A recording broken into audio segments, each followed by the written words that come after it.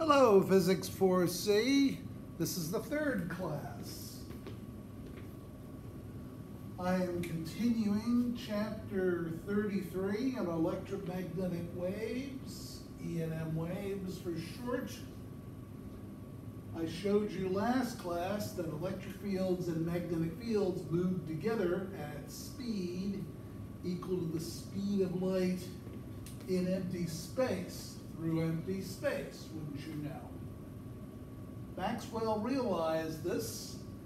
James Clerk Maxwell, who I have shown here, found four equations that provide a complete description of electricity and magnetism, and what I'm showing right now links light in with it. So Maxwell's equation provide a complete description of electricity, magnetism, and light collectively referred to as Maxwell's electromagnetic theory. These four vector calculus equations, these four equations with a knowledge of vector calculus basically describe everything that electricity and magnetism do. Maxwell realized this and then with this derivation I showed you last time, Maxwell showed that light is involved too. So electricity, magnetism, and light are all aspects of the same phenomenon.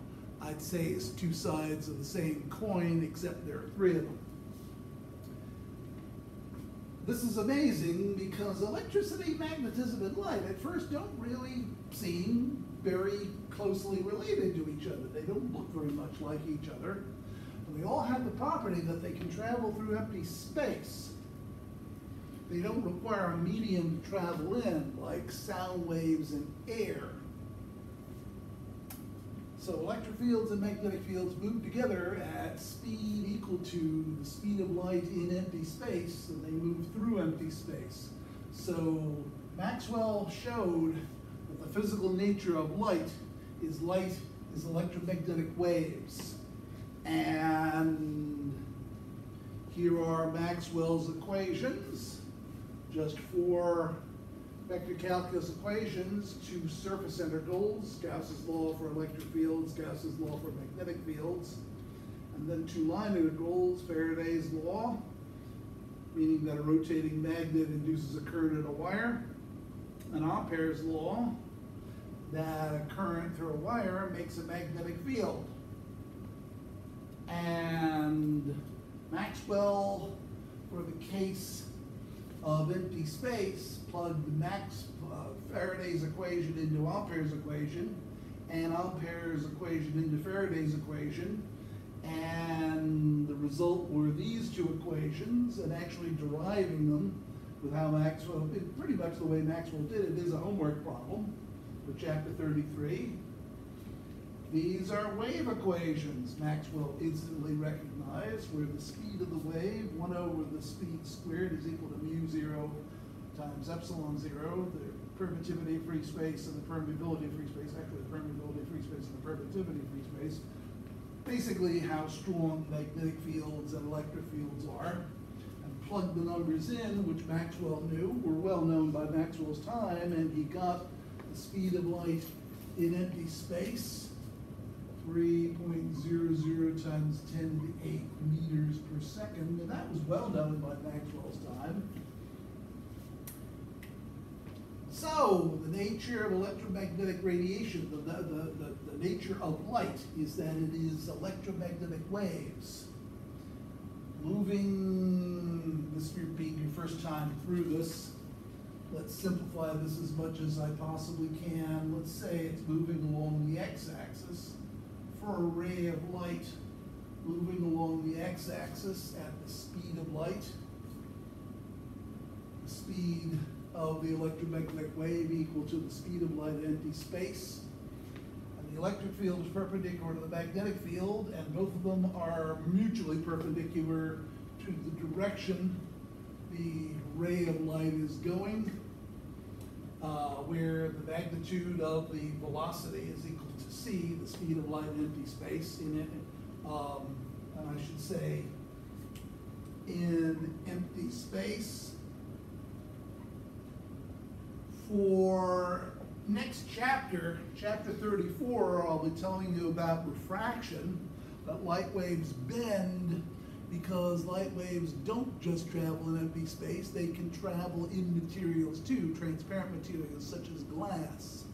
And the speed of light in glass is less than the speed of light in empty space. So light waves bend when they move from empty space or air into glass, and that's how lenses work. And we'll cover that in detail, how lenses work and how to do interesting things with lenses like make eyeglasses and telescopes and microscopes in chapter 35. So Maxwell basically showed that light is an electromagnetic wave, an E&M wave traveling through empty space at speed c along the x-axis. Light could travel through materials, but the speed of light in, in, in glass, say, is less than the speed of light in empty space. And this is inherently a three-dimensional phenomenon. This being your probably your first time through this, looking at a two-dimensional uh, drawing of a three-dimensional thing can be confusing. And here's another two-dimensional drawing that I've done. So the ray of light, just uh, for now, moving along the x-axis. The electric field oscillates perpendicular to it in the plus or minus y direction. And the uh, magnetic field oscillates uh, um, in the plus or minus z direction. And the three vectors are mutually orthogonal to each other. In other words, they're all perpendicular. They're mutually perpendicular. They're mutually perpendicular the precise term mathematically for that is orthogonal. The three vectors are at right angles to each other. And of course, this isn't the only way that light waves can go. They can travel this way or that way or, or whatever way. The, the important part is that the three vectors are mutually perpendicular, or in other words, orthogonal to each other. And in an upcoming chapter, chapter um, the chapter on polarization, it's possible to do interesting things with this, like make Polaroid sunglasses. And of course, I did last class my silly impersonation of a light wave. Since it is a three-dimensional thing, looking at a two-dimensional plot here, here, oh, maybe not so easy to uh, realize what's going on your first time through it. So now I will again impersonate a ray of light traveling in the x direction. I'm traveling along at the speed of light in the x direction. My electric field is oscillating in the plus or minus y direction, and my magnetic field is oscillating in the plus or minus z direction. All perpendicular to each other. In other words, they're all orthogonal. So I will now impersonate a ray of light traveling through space. That's one wavelength. That's another wavelength. Anyhow, all this came from these equations, which basically was uh, Faraday's law inserted into Ampere's law for the case of empty space, and Ampere's law inserted into Faraday's law for the case of empty space.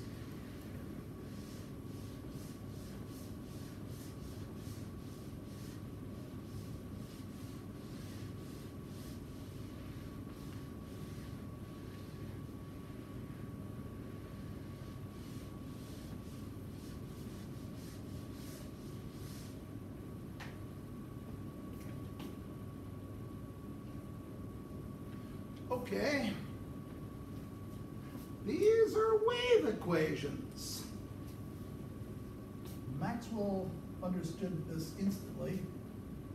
These are wave equations. Hoping you remember the, the wave equation, the general wave equation, with the form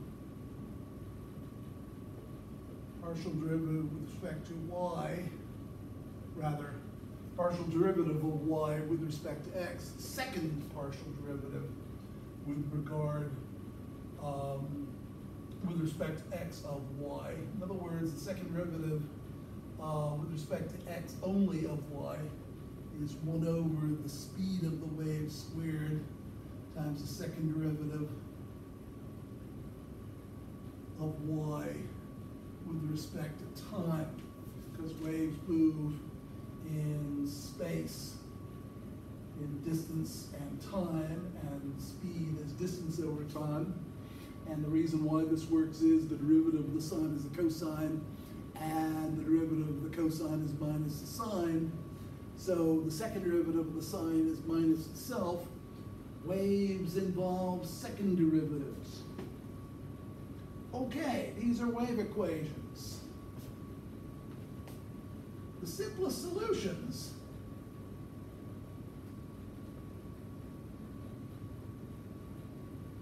to equations 3319 and 3320 equations, so the simplest solutions will be just simple sinusoids. The electric field being equal to its maximum value times the cosine of kx minus omega t. I'll explain what k and omega me- uh, mean in a second. And the magnetic field being equal to B, rather not E max, B max cosine of kx minus omega t. And again, I will say, try it. Plug these equations into these equations. Plug these two into these two, and sure enough, they come out.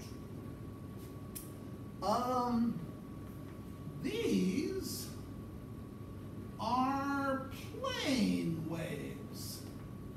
They're the simplest example of these. Um, plane waves, comma, where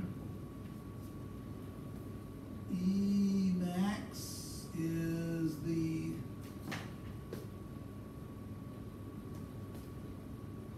the maximum value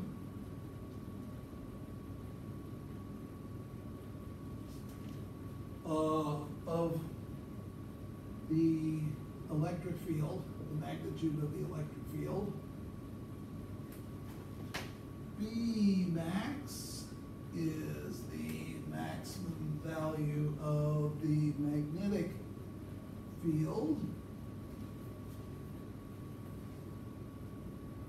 Lambda is the wavelength. Distance between crests of the wave, between there and there is one wavelength, lowercase Greek letter lambda. I can show that in this figure. Wavelength is the distance between crest to crest, and we symbolize it with lowercase Greek letter lambda. And for electromagnetic radiation, for visible light, this is the same thing as color. Different colors of light, of different of visible light, have different wavelengths. Violet light has a short wavelength. Red light has a longer wavelength, and the other colors visible to the eye are in between.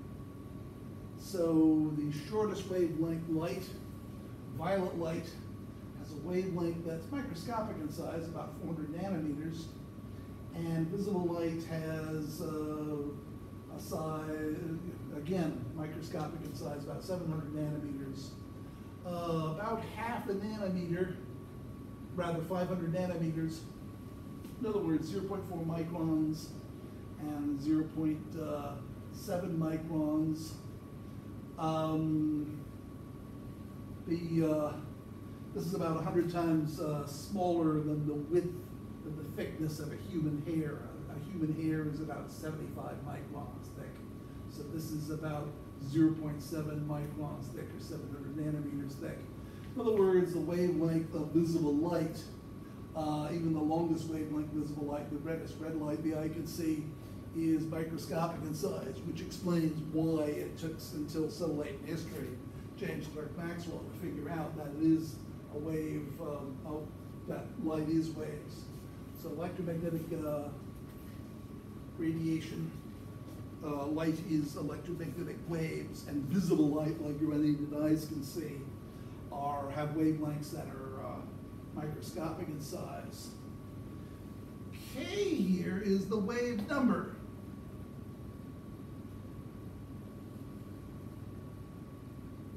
A wavelength is a length in meters, and a wave number is the number of waves per wavelength, that's 2 pi divided by lambda. And so the units, the units are waves per meter or just inverse meters. The waves being understood since you're talking about waves. Let me show you an illustration of that. Visible light is only a tiny portion of the possible wavelengths of electromagnetic radiation. Most kinds of, electromagnetic radiation, most wavelengths are wavelengths much longer or much shorter than the eye can see. Radio waves or electromagnetic radiation, essentially the same phenomenon as light, but you can't see radio waves because wavelengths are too long. And this is radar gigahertz, approximately six gigahertz. Actually, no, it isn't approximately 1.4 gigahertz. Uh, radar uh, radio waves, relatively short wavelength radio waves. FM radio waves are typically tens of meters long, and AM radio waves are typically hundreds of meters long or kilometers long. But radar has a short wavelength. This particular uh, wavelength, uh, this particular kind of uh, radar waves are about 20 centimeters in wavelength, but sure enough, from there to there is about 20 centimeters. From there to there to there, there to there, that's about 20 centimeters. 10 centimeters is about that much, and twice that much.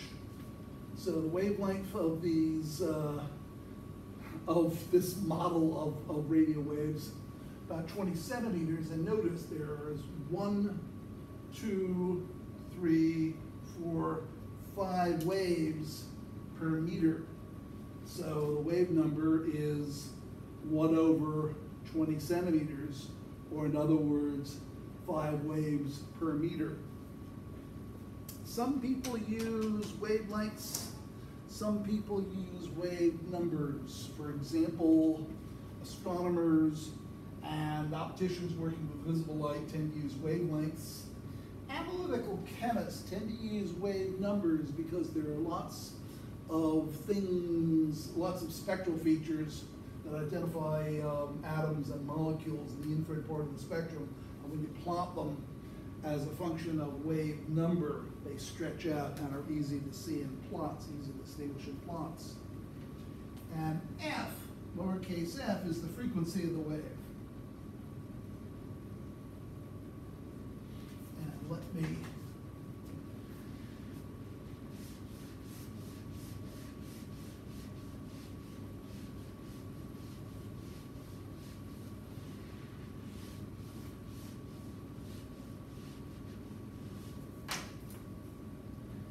F is the frequency of the wave. F is the frequency, how many waves go by per second, and the units are in, well, it's basically waves, number of waves that go by per, uh, per second, or just inverse seconds understood, being understood, we were talking about waves, so frequency second, uh, in other words, cycles per second, or hertz, where one hertz, often abbreviated as just one HZ, is one per second, which is one cycle per second, which is one wave per second. They're all the same, they all mean the same thing. Um, I can't stop you, people from using these different terminologies, but I can show them to you so you understand what different people are talking about. But by far the most is so many hertz, so many cycles per second, so many waves go by per second. For example, AM radio are typically measured in kilohertz, thousands of cycles per second.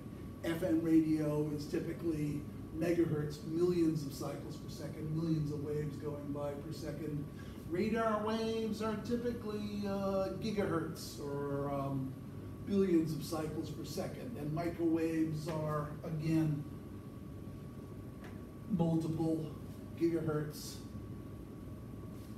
But visible light, um, for visible light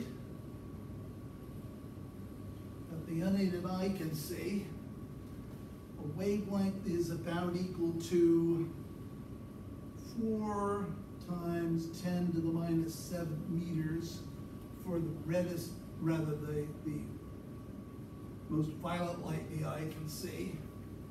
And it's about 7.5 times 10 to the minus 7 meters for the reddest red light it can see. And the other colors are in between, the other colors that the eye can see. And again, different people in, uh, using working in different fields uh, have different units. This is 0.4 microns, which is equal to 400 nanometers. And again, 7.5 times 10 to the minus 7 meters, the, the, the wavelength of the longest red light, the longest wavelength red light the eye can see is 0.75 microns, which is 750 nanometers. One micron is 10 to the minus 6 meters, and one nanometer is 10 to the minus 9 meters. Here we go, microns and nanometers and the different units used. And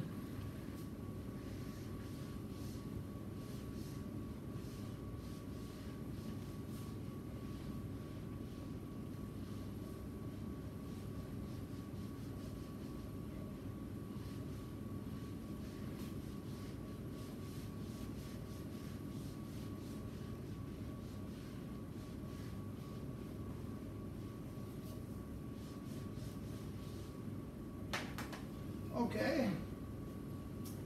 Uh, from chapter 14 on waves, recall that wavelength, which is in meters, times frequency, which is in inverse seconds or cycles per second or hertz, wouldn't you know that's equal to speed, which is meters per second. So it comes out, and for E and M radiation in empty space, this is for all waves of all kind. For electromagnetic uh, radiation, why don't I just say electromagnetic waves in empty space? Wavelength times frequency is equal to the speed of light in empty space. There we go. Therefore, for visible light, which unaided eyes can see, wavelengths between 4 and 7.5 times 10 to the minus 7 meters imply frequencies of about 6 times 10 to the 14th hertz. So each second, about 600 trillion wavelengths of light, wavelengths of visible light.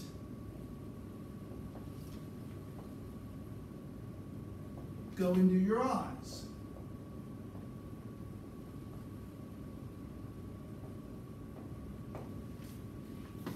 One over roughly between four and seven point five times ten to the minus seven meters is approximately six times ten to the fourteenth hertz, which is ten to the four, six times ten to the fourteenth cycles per second. So each second, about six hundred trillion, six times ten to the fourteenth wavelengths of visible light go into your eyes.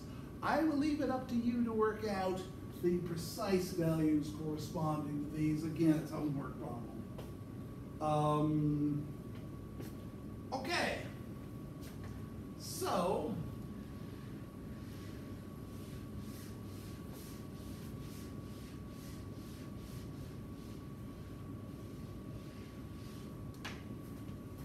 omega is 2 pi times the frequency.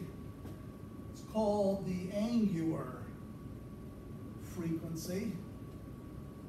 Since we're dealing with cycles, with wavelengths, with cycles,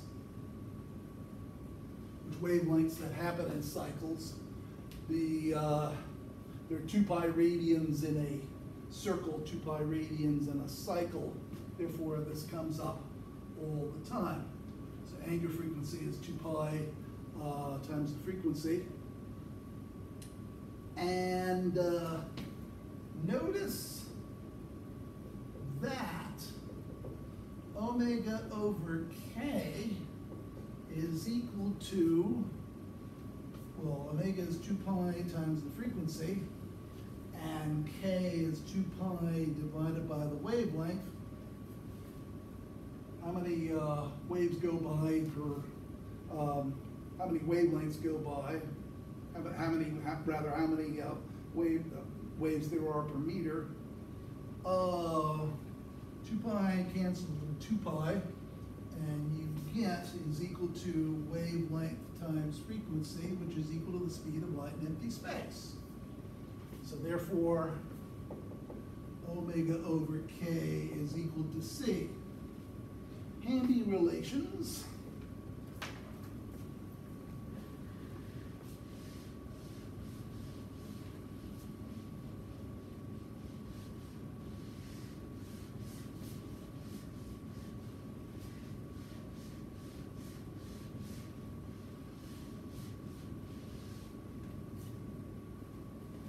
Also, since, as I showed you earlier, the electric field is equal to the maximum value of the electric field times the cosine of kx minus omega t.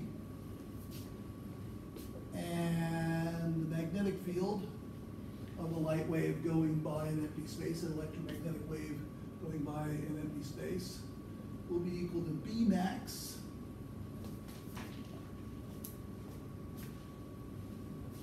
B max times cosine of kx minus omega t. Because this, because of this, uh, and something I showed you last class that Maxwell derived, the partial derivative with respect to x of the electric field. In other words, the first derivative with respect, with respect to x only of the electric is equal to minus the partial derivative with respect to time of the magnetic field, rather minus that. In other words, uh, first derivative with respect to time only of uh, the magnetic field minus that because these are all true. Therefore, first derivative with respect to x only of E field, that would be E max cosine of kx minus omega t. And that would be equal to minus the first derivative with respect to time of the magnetic field, B max times cosine of kx minus omega t. There we go, close the bracket. There we go, that's all. I just plugged these two into this, and there it is. And let's solve it. Emax comes out because it's constant. But the first derivative with respect to x only of cosine would be minus the sine. So minus the sine of kx minus omega t. And since that is an x, a k comes out in front like that, that being the chain rule, minus equals minus sign there, and there would be a b max there coming out of there, except I have written it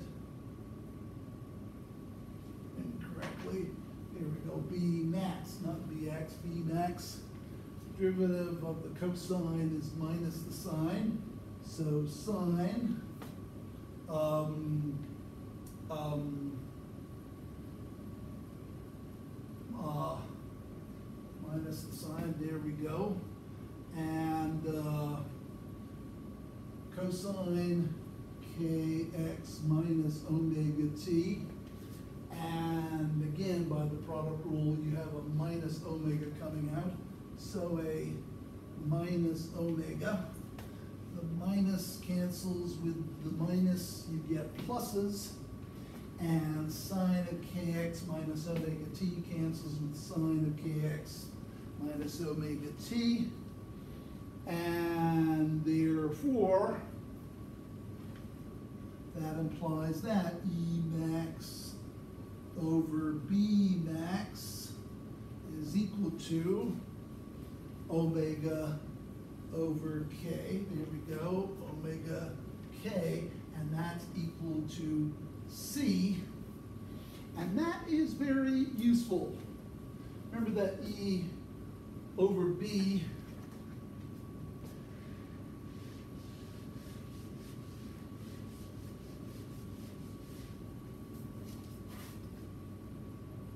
E equals E max cosine of kx minus omega t divided by b, which is equal to b max times cosine of kx minus omega t. The two cosine terms cancel. Therefore, E over B the value of E over B, the value of the electric field divided by the, the value of the magnetic field at any point in any electromagnetic wave will be equal to E max over B max, which will be equal to C. That one's important enough, this should be lowercase c, meaning speed of light in empty space. That one's important enough to put a nice rectangular box around. By the way, when doing homework problems or doing exams, whenever you get the answer you're looking for, put a nice rectangular box around it. It attracts attention, it attracts the grader's eye, and the grader's eye seeing your correct answer will be much more likely to give you full credit without an argument. Okay, so this is always true for electromagnetic waves in empty space.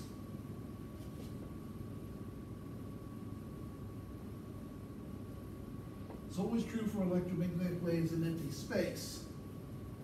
And it's very handy. Notice also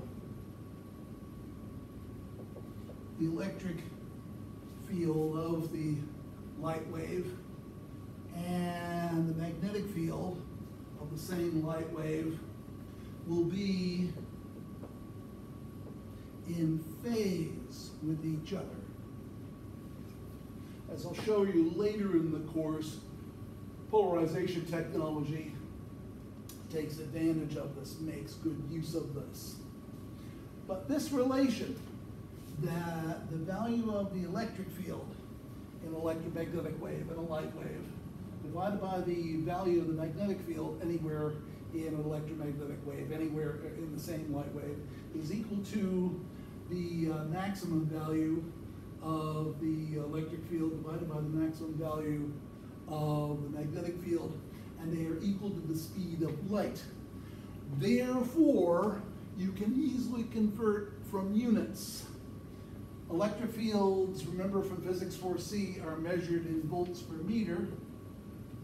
And magnetic fields are measured in Teslas, and you can easily convert them. A volt per meter um, is equal to C meters per second, which is C, times Tesla. That's on the formula list. And you can convert, and you, you can do more than easily convert between units for electric field and units for magnetic field. It strongly implies that the electric field and magnetic field physically do pretty much the same thing as each other. So as I'll show you later in the course, this basically cuts the amount of work in half. All you have to do is a derivation for what the electric field does, and then a magnetic field, you, uh, to find out what the magnetic field does, just multiply times C and you have what the magnetic field does. Practical application, if you're an electrical engineer and you've been told by your company to go measure the electromagnetic field around, say, a power line, and you can do it by measuring the electric field, but actually magnetic uh, devices for measuring magnetic fields, magnetometers are a lot more sensitive. So bring a magnetometer and measure the magnetic field and then multiply it times saying you got the value for the electric field that your boss wants to know, or client, or, um, or, or, or, or um, customer wants to know. Okay, Maxwell's electromagnetic theory basically it doesn't say anything about the wavelength that the waves have. Experiments in Maxwell's time and afterwards have shown that the wavelengths of visible light are between 400 nanometers, or in other words, 0.4 microns, or in other words, 4 times 10 to the minus 7 meters. And the wavelengths of the uh, longest wavelength red uh, light that the eye can see is about a little more than 700 nanometers. It varies from person to person. Um, 700 nanometers, or in other words, 0.7 microns, or in other words, um, 7 times 10 to the minus 7 uh, meters. Maxwell's electromagnetic theory really doesn't say what these values should be. These values were known, but the point is it doesn't say anything that wavelengths shorter than the eye can see can't exist, nor does it say anything about that, that, um, that uh, wavelengths longer than the eye exist. And in Maxwell's time, before Maxwell's time, there were indications that there were kinds of radiation uh, with wavelengths shorter or longer than the eye could see. Old style chemical photography, which had been in use for about a generation when Maxwell was working, old style chemical photography starting in the 1830s with the daguerreotypes. Old style black and white uh, chemical photography was actually sensitive to ultraviolet radiation. Radiation, light, in other words, that with wavelengths shorter than the shortest wavelength of violet light that the eye could see. And uh, about actually 100, 100 years before uh, Maxwell, actually not 100 years, about 60 years before Maxwell, around 1800, so William Herschel discovered infrared radiation by putting a thermometer at the focus of one of his uh, telescopes. And even though there was no visible light, he could still read an elevated temperature, indicating that there was heat radiation coming through his telescope that the eye couldn't see. So ultraviolet and infrared. The point is, a general principle of the universe is that anything that isn't forbidden tends to be compulsory. So, Maxwell's electromagnetic theory really doesn't make any predictions for what the wavelengths should be, therefore the implication meaning they can be anything. And visible light, like your eyes, like your any eyes are sensitive to, turn out to be only a tiny portion of the wavelengths of light the eye can see. This is referred to as the electromagnetic spectrum. When you say the word light, people tend to assume you mean visible light. Therefore, I tend to be careful about this. When I mean ultraviolet radiation or X-rays or gamma rays, all forms of electromagnetic radiation, sure the eye can see, I don't call it light. I don't call it ultraviolet light. I call it ultraviolet radiation. Likewise, X-rays and gamma rays are understood to be radiation too. Likewise, when I'm talking about forms of electromagnetic radiation with wavelengths longer than the eye can see, like infrared radiation, microwaves, or radio, I don't like to say infrared light. Again, you say the word light, people tend to assume you mean visible light, and infrared radiation has wavelengths longer than the eye can see. So don't call it infrared light, call it infrared radiation. So, this is the electromagnetic spectrum, visible and invisible light, our electromagnetic radiation or the electromagnetic spectrum. Visible light, which human eyes can see, makes up only a tiny portion of the possible kinds of electromagnetic radiation, the difference between which is their wavelength. Again, within the narrow range of wavelengths that visible light can have, different colors have different wavelengths of light. Visible light is given off by stars roughly the same temperature as the sun. The sun radiates its maximum intensity right in the middle of the wavelengths of visible light. It is no coincidence, probably, that our eyes evolved to be most sensitive to those wavelengths of radiation. There are stars that are hotter than the sun, and their maximum um, intensity is actually at wavelengths shorter than the sun, than, than the eye can see, ultraviolet radiation. There are things even hotter than that, the gas going down black holes. A black hole, of course, once the gas goes into the black hole, is lost to this universe, but just before it pours into the um, black hole, uh, the black hole's gravity compresses it so much by the ideal gas law that it heats up to millions of degrees, millions of Kelvin, and it radiates X-rays. And notice, uh, this is from gas thousands of times hotter than the sun, and the wavelengths that it has, the, its maximum intensity has, are thousands of times shorter than visible light has. Gamma rays have even shorter wavelengths. Gamma rays come from nuclear reactions, X-rays come from inner-electron transitions. Ultraviolet radiation comes from the hottest stars. Visible light comes from stars like the sun and also outer electron transitions. Chemists, analytical chemists use those to tell what things they're made of. Infrared radiation has wavelengths longer than the eye can see. Notice that the wavelength of visible uh, radiation is between 0.4 and about 0.78 microns. Infrared radiation is about 0.78 to 100 microns. This comes from room temperature objects, such as human beings, military night vision goggles uh, are sensitive to infrared radiation. Snakes can also sense infrared radiation. It helps them hunt warm-blooded prey, such as mice in the cold desert floor.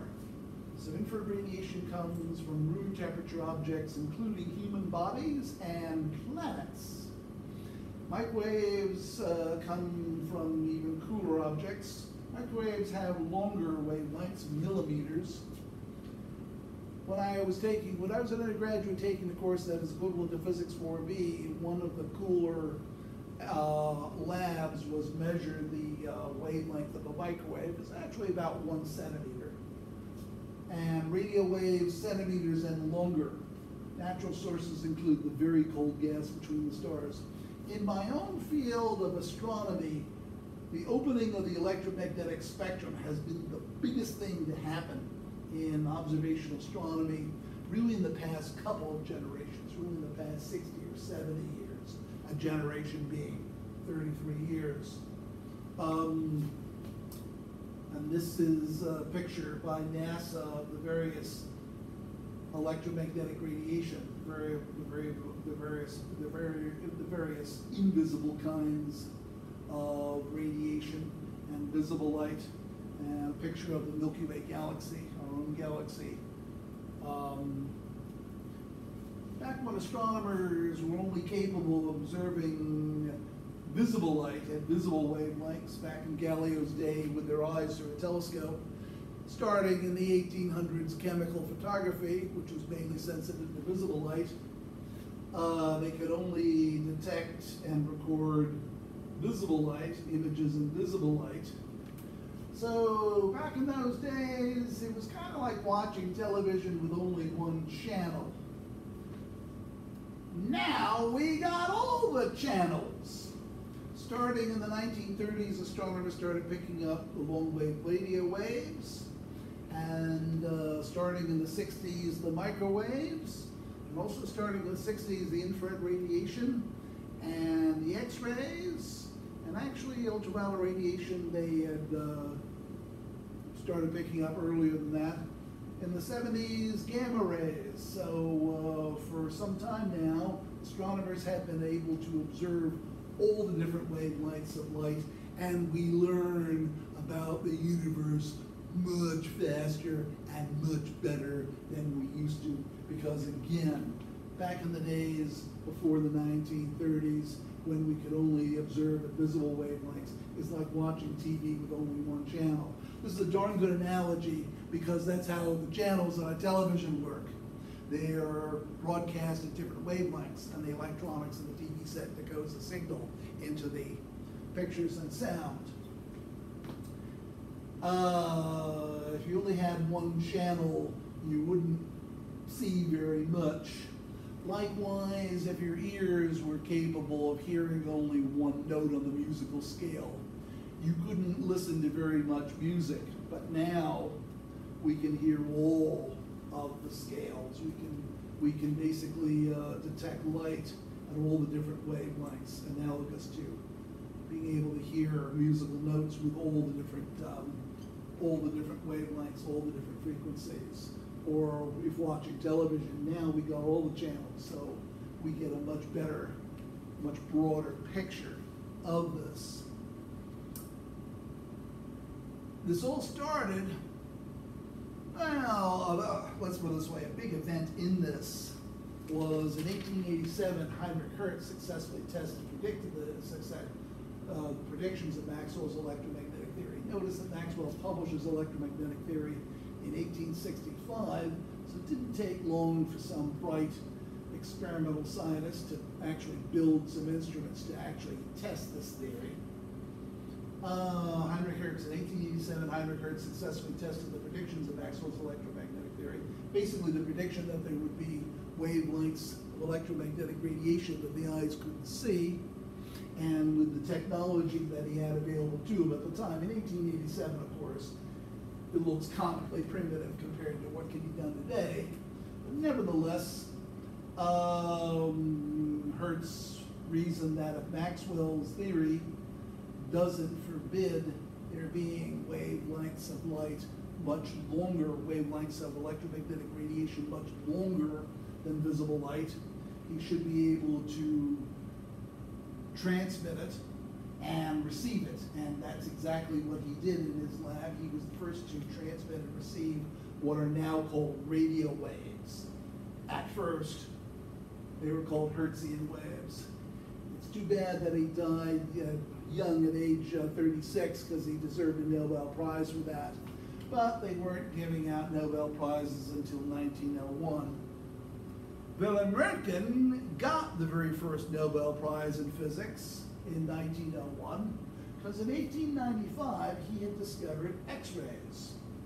So radio waves are electromagnetic radiation with wavelengths much shorter than the unaided eye can see.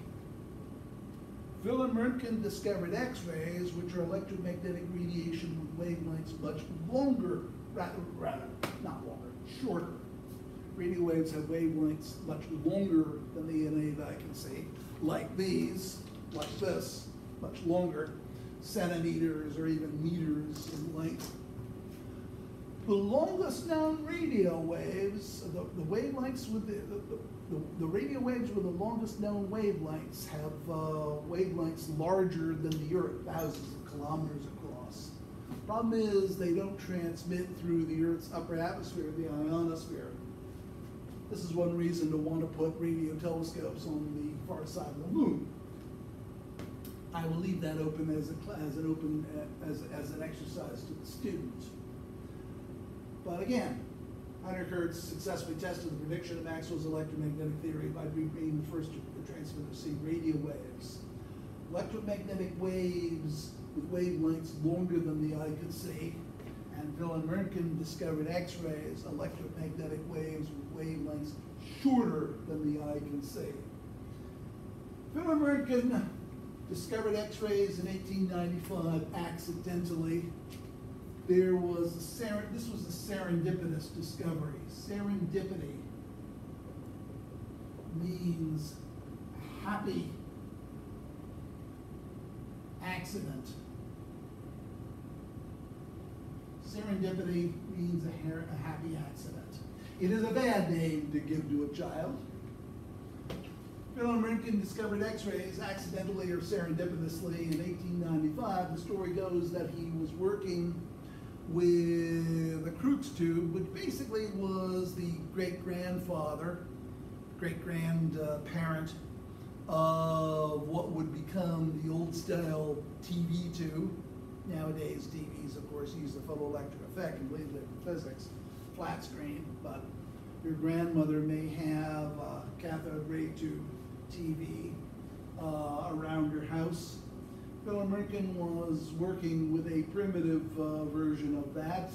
This was decades before television. It was just pure physics research, these weird rays that happen when you turn the current on. He didn't realize what was going on, that he was shooting electrons into a screen that would glow because of the energy of the electrons. And the story goes, when he had his machine, his experiment turned on, he happened to put his hand in the beam, and then just by chance, he happened to glance at the shadow uh, that his hand was casting on the backside of his machine. And he was astonished to be able to see the bones of his hand. I hate to think of the dose of x-rays he was getting when he did that. X-rays are electromagnetic radiation, essentially just like light, but with wavelengths thousands of times shorter than uh, wave than visible light has, and therefore energies thousands of times higher. X-rays have energies so high they can go right through the soft tissues of the human hand, but not the bones. So doctors pretty much immediately started using them to take pictures of people's bones. Gamma rays have even shorter wavelengths than X-rays. The problem with gamma rays is they uh, have uh, such high energy, they go right through the bones too. So doctors do not use them for to take pictures of people's bones. But X-rays are right in that sweet spot. They have a thousand times shorter wavelength than the um, than visible light has, therefore a thousand times greater energy.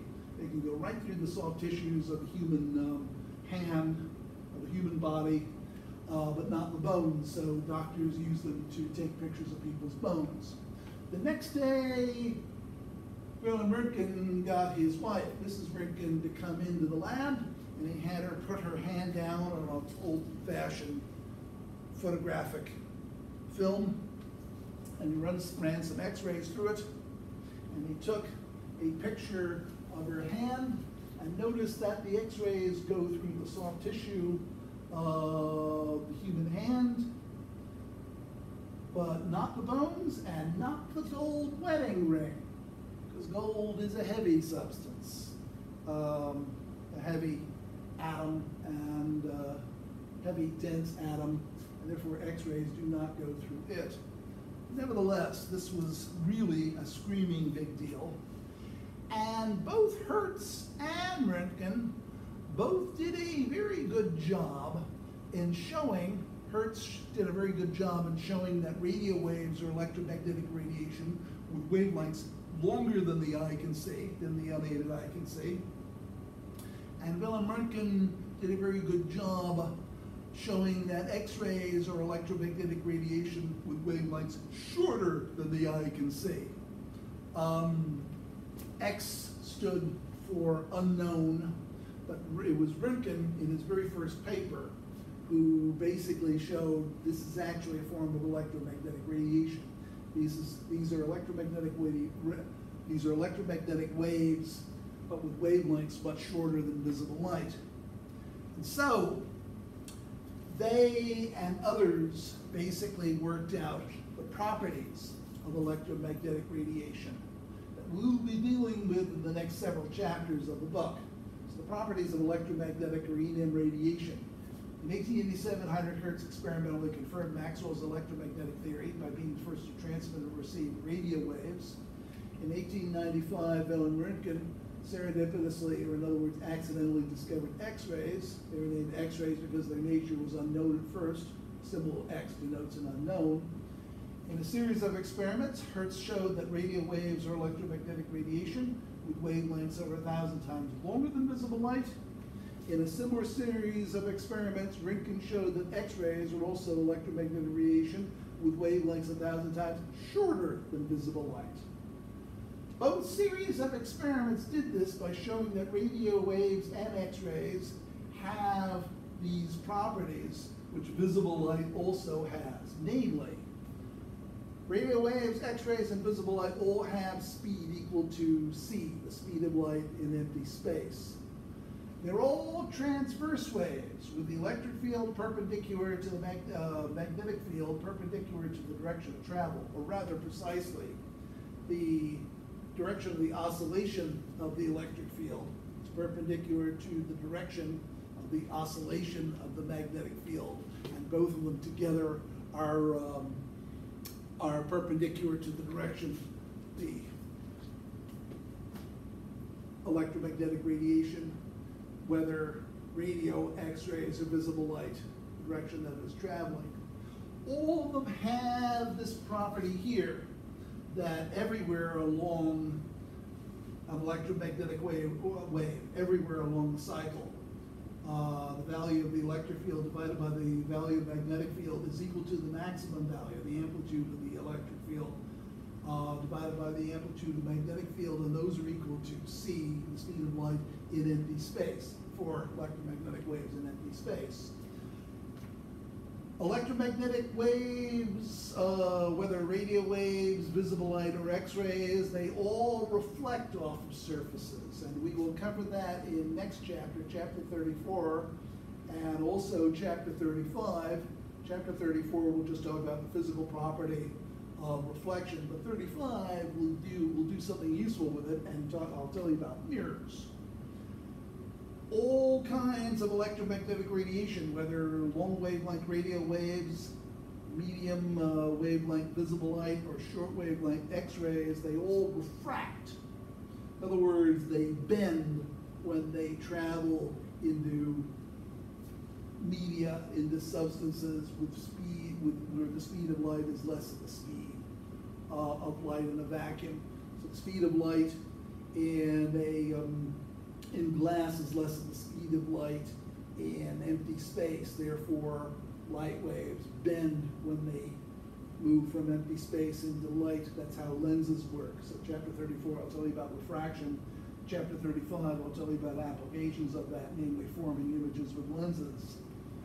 All forms of electromagnetic radiation, whether they have wavelengths shorter than uh, visible light like X-rays or longer than visible light like radio waves, or whether they are visible light, all of them interfere with other waves. In other words, you can combine them in phase with each other, and they constructively interfere with each other, they amplify each other, or you add them up out of phase with each other, and they can destructively interfere with each other. What most people think when they when you say the word interfere, radio interference, you have radio stations interfering with each other's signals all forms of electromagnetic radiation diffract, which means that they bend around corners. We cover that in chapter 37.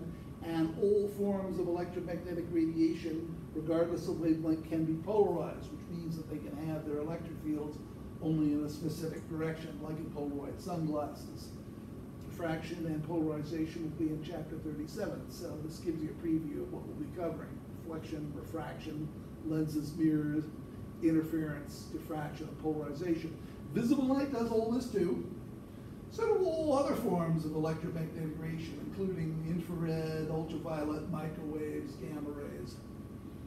And by transverse waves, by the way, all electromagnetic waves are transverse waves, is that they oscillate in a way, they oscillate in a direction perpendicular. The oscillation in the wave, to be a wave, something's got to repeat, something's got to oscillate.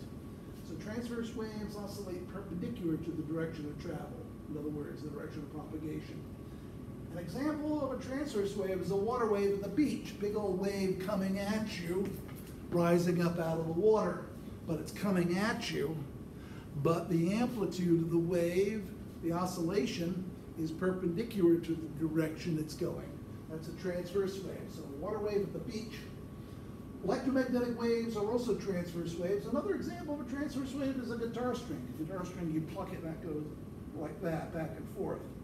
It doesn't go up and down like that. It goes back and forth like that. So the guitar string, when you pluck it, the oscillation is perpendicular to the direction that the wave is going.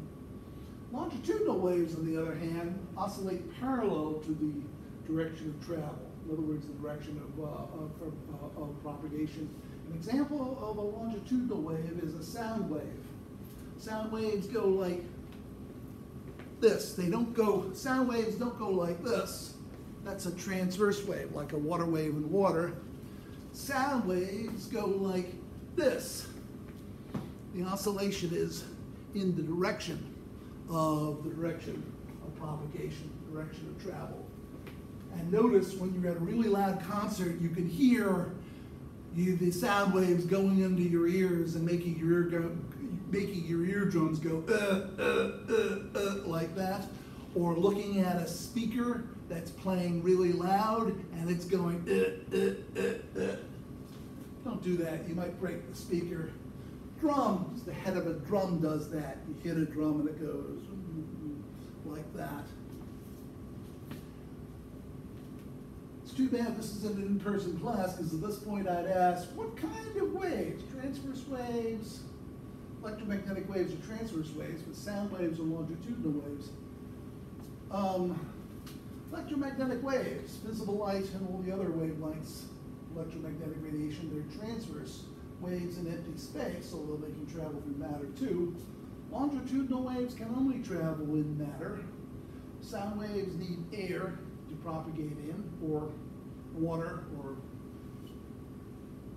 solid. You can have earthquake waves go through the earth. Uh, and I will ask,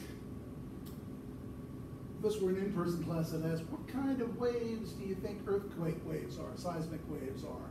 The people guess longitudinal waves because they're sound waves, but actually earthquake waves can also be transverse. Earthquake waves, seismic waves, you have both kinds of waves, both transverse and longitudinal waves.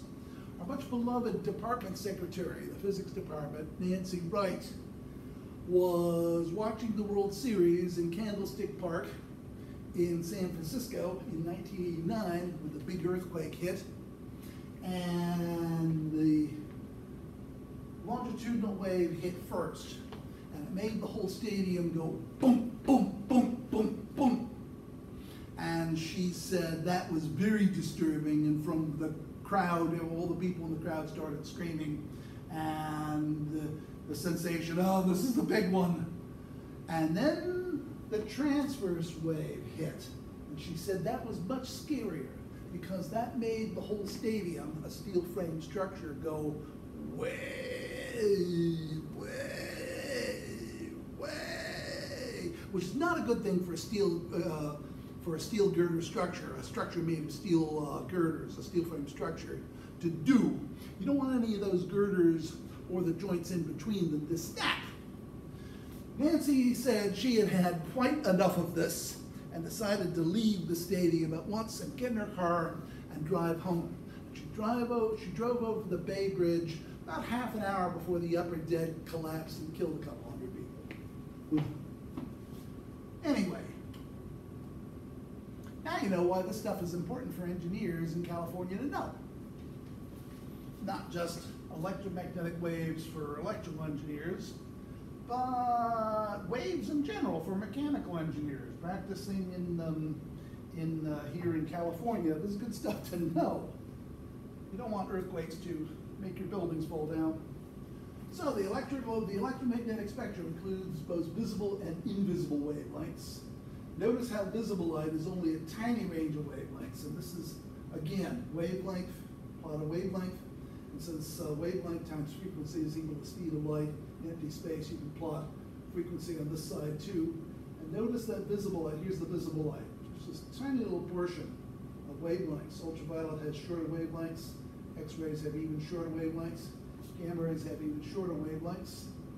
And visible light is only a tiny uh, range of wavelengths. Infrared radiation has longer wavelengths, microwaves have longer wavelengths, and radio waves consisting of microwaves, radar waves, uh, TV, FM radio, radio waves, and long wave AM radio waves, and even longer wave radiation um, wavelengths, many kilometers. FM is typically tens of meters. Radar is typically a few centimeters. Um, infrared night vision devices typically work at a wavelength of about 10 microns. Wavelength of visible light is about half a micron, microscopic in size, therefore it's no wonder it took until so recent in history for people to figure out any of this. Uh, but now we have figured it out, and now there are technologies that take advantage of all these wavelengths. Uh, radio communication, microwaves for radar, some cooking, infrared for cooking, and infrared for remote control, tele television remote control. Ult- uh, it, it goes on and on and on. Ultraviolet X-rays for medical imaging, gamma rays for uh, cancer therapy. Uh, it's astonishing. It's astonishing because now we have so many different technologies making use of just about all these wavelengths. And yet, when Maxwell published his treatise on electromagnetism, uh, in 1865, he was fired from his job, from his professorship at the University of Glasgow. Basically, the older professors in that department denied him tenure, basically because they couldn't understand vector calculus. They couldn't get their minds around it. It seems incredible nowadays because now we have so many different kinds of technology that uses every bit of this. Vindication is sweet. Let me stop there for today.